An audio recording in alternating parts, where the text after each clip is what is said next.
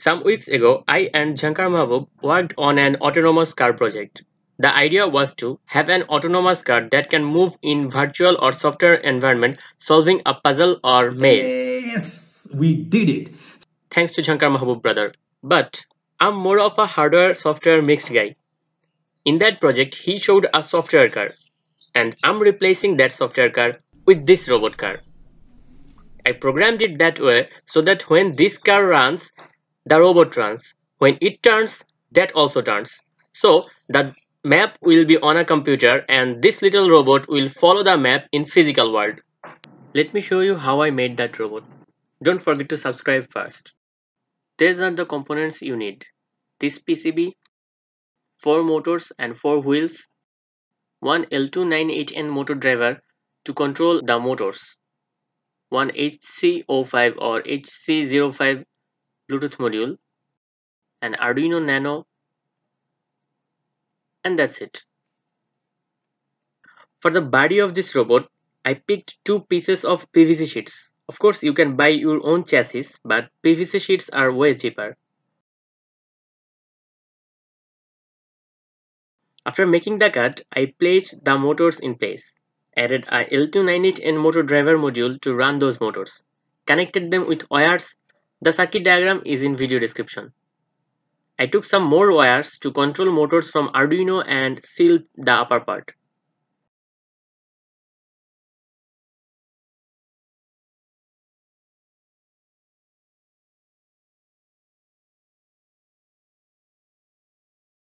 I'm using this PCB module for this robot. I designed it online printed from PCBWay. PCBWay is one of the best PCB manufacturer. They supply cheap PCBs to all over the world. It took only 3 days for this to reach. Fast enough. Let's now talk about the PCB. So look at the finishing. The solder mask, the lines, it's as perfect as as it could be so you can connect an Arduino Nano here and a micro SD card reader I2C pins or I2C however you say it. And here goes the Bluetooth module and there's the digital pins that are marked here. You can also add another 7850 7805 voltage regulator module and that's it. Okay then I connected the wheels and finished the body. It looks beautiful, isn't it? After that, I connected the Arduino to my PC and opened Arduino IDE and uploaded the Arduino program.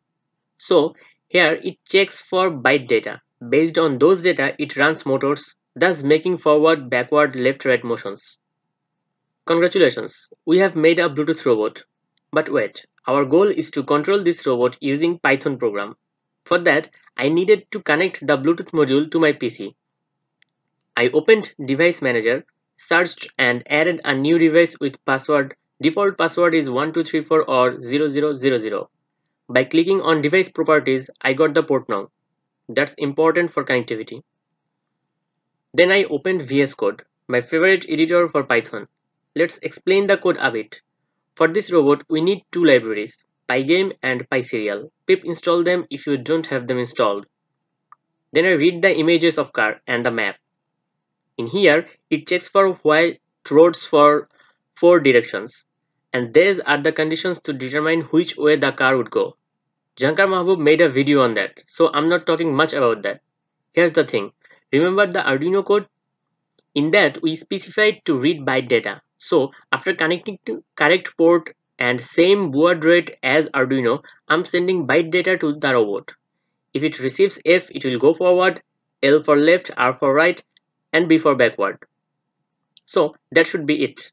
Now if I run the Python code, I should see the robot moving based on the map.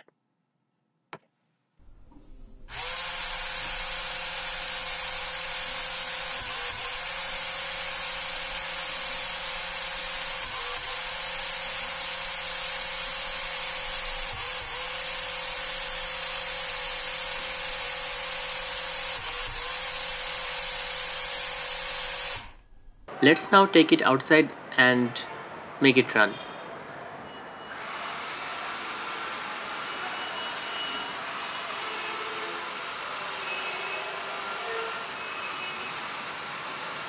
Hmm, not bad. But it slips. Actually, it would be industrial standard if we could add some sensors to determine its path or calculate the errors. But so far so good. Thank you for watching the video. Please like and subscribe if you like this video. Thank you.